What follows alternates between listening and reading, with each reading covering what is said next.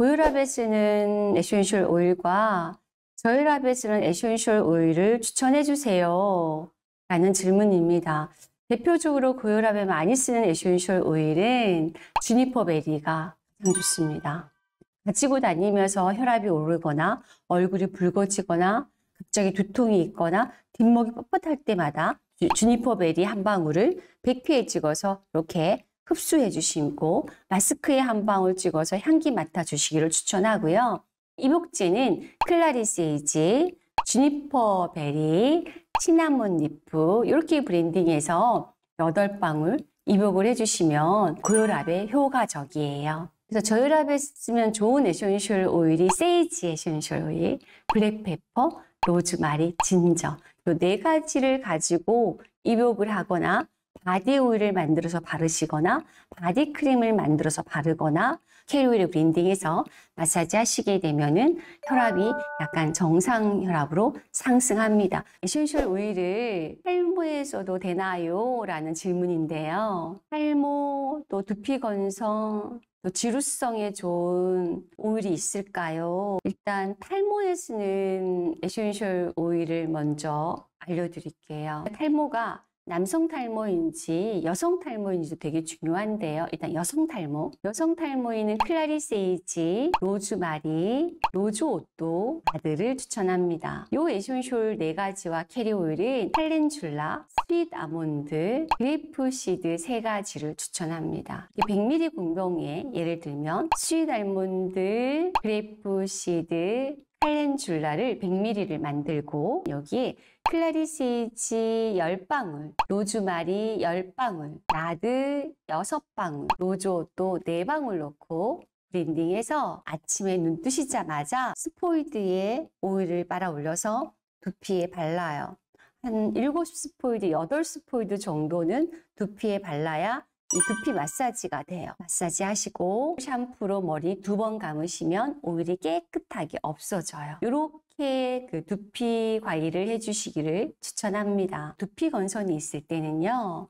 처방전이 조금 달라요. 100ml 공병이라고 하면 소독하셔야 돼요. St. John's wort 40ml, calendula 30ml, 그다음에 호호바 golden 30ml blending 해 두시고 여기에 캐모마일 German blue 10방울, 그리고 로즈마리 7방울, 그리고 nard 10방울, 그리고 cajeput 3방울 이렇게 blending해서 두피에다가 바르시고 주무셔도 되고요. 아침에 눈 뜨면 한 7, 8스포이드로 두피에 발라서 건선이 많은 곳뿐만 아니라 두피 전체에 발라서 부드럽게 흡수시키신 다음에 샴푸로 두 번 감아내시면 됩니다. 비듬이 막 떨어지면서 두피 건성이 있죠. 두피가 너무 건조해서 비듬이 생기는 경우 이런 경우에는 100ml 소독된 갈색 공병에 argan 30ml, sweet almond 40ml, calendula 30ml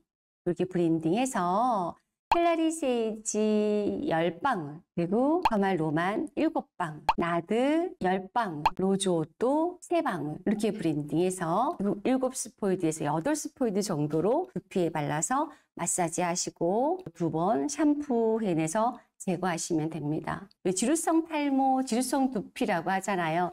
여기 피지가 너무 많이 분비돼서 냄새가 나거나 비듬이 생기거나 탈모가 생기는 경우에요.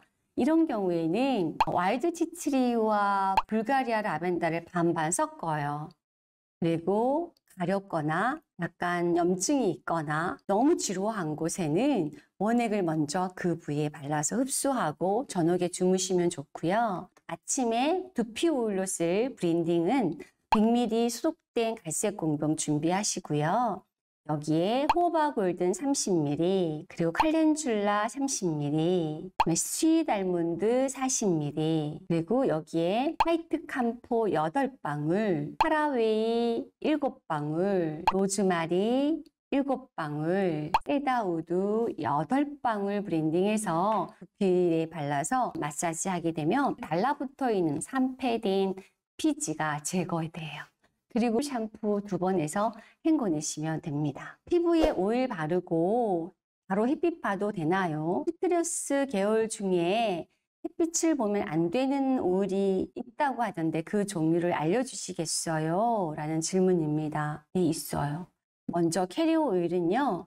St. John's wort는 carrier oil을 바르고 원액을 바르고 자외선을 보시면 검어져. 그래서 보통 바르고 흡수시키거나 다른 carrier oil과 섞어서 바르거나 특히 St. John's wort를 많이 바르고 햇빛을 볼 일은 별로 없잖아요. 근데 essential oil 중에는 광감인 작용을 하는 essential oil은 뭐냐면 레몬과 white grapefruit예요. 레몬이나 white grapefruit 향기가 너무 좋아서 원액을 막 귀 뒤에 바르시고 자외선 보시면 색소 생겨요. 그래서 carrier oil에 blending해서 발랐을 때는 상관이 없는데 원액을 바르고 나가시게 되면 광감인 작용을 할 수 있습니다.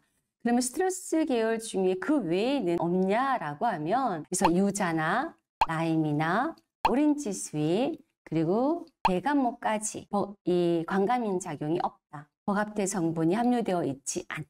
이게 함유된 것들도 있으니까 여러분이 주의해 주셔야 합니다. 아로마 테라피 전문가들이 또 피부에 사용하는 essential oil 속에는 bergapten 성분이 함유되어 있지 않은 citrus 오일을 사용하고 있어요.